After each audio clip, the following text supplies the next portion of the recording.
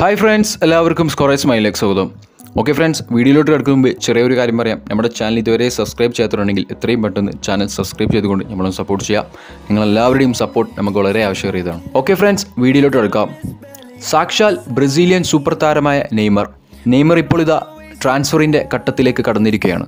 നമുക്കെല്ലാവർക്കും അറിയുന്ന ഒരു കാര്യമാണ് പി എസ് ജിയുടെ ഫാൻസ് നെയ്മറിനെതിരെ ചെയ്ത കാര്യങ്ങൾ. ആ ഒരു കാര്യത്തിൽ നെയ്മർ വളരെ അൺഹാപ്പിയാണ് അതുകൊണ്ട് തന്നെ ടീം വിടാനുള്ള എല്ലാ നീക്കങ്ങളിലേക്കും നെയ്മർ കടന്നു കഴിഞ്ഞു. ഈ ഒരു ഘട്ടത്തിൽ തന്നെ സമ്മർ ട്രാൻസ്ഫർ വിൻഡോ ഫോക്കസ് ചെയ്തുകൊണ്ട് നെയ്മറിനെ സൈൻ ചെയ്യാൻ വേണ്ടിയിട്ട് ഒരുപാട് ക്ലബ്ബുകൾ മുന്നോട്ട് വന്നിട്ടുണ്ട്. അതിൽപ്പെട്ട മൂന്ന് പ്രീമിയർ ലീഗ് വമ്പൻ ക്ലബ്ബുകളാണ് ന്യൂ കാസ്റ്റ് യുണൈറ്റഡും അതുപോലെ തന്നെ ചെൽസിയും അതുപോലെ തന്നെ മാഞ്ചസ്റ്റർ യുണൈറ്റഡും പക്ഷേ ഇപ്പോൾ ഇതാ മറ്റൊരു വ്യക്തിയും നെയ്മറിനെ കോൺടാക്ട് ചെയ്തിരിക്കുന്നു. ആരായിരിക്കും? മറ്റാരുമല്ല പെബ് ഗാഡിയോള പെബ് ഗാഡിയോള നെയ്മറിനെ കോൺടാക്ട് ചെയ്തു എന്നുള്ള വാർത്തകളൊക്കെ പ്രചരിക്കുന്നുണ്ട്.